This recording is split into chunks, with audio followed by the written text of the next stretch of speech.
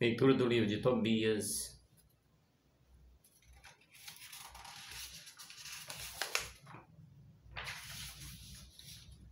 Onze, cinco a dezessete. Antes que Tobias se aproximasse do pai, Rafael lhe disse: Estou certo que seus olhos se abrirão. Aplica-se nos olhos o fel do peixe. O remédio fará que as manchas brancas se contraem e se desprendem dos olhos. Teu pai vai recuperar a vista e enxergará a luz. Ana correu, tirou seu pescoço do filho e disse: Volte a ver, meu filho, agora eu posso morrer. E chorou. Tobias levantou e tropeçando atravessou a porta do pai. Tobias foi ao seu encontro, tendo na mão o fel do peixe.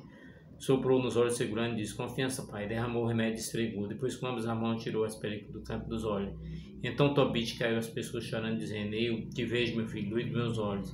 E acrescentou: Bendito seja Deus, bendito seja seu grande nome, bendito seja todos os seus santos anjos por todos os séculos.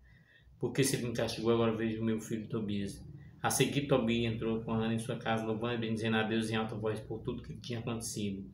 E Tobias contou ao pai como tinha sido boa a viagem dele por obra do Senhor Deus, como havia trazido dinheiro e como tinha se casado com Sara, filha de Raguel. Aliás, ele já se aproximava das portas de Nível.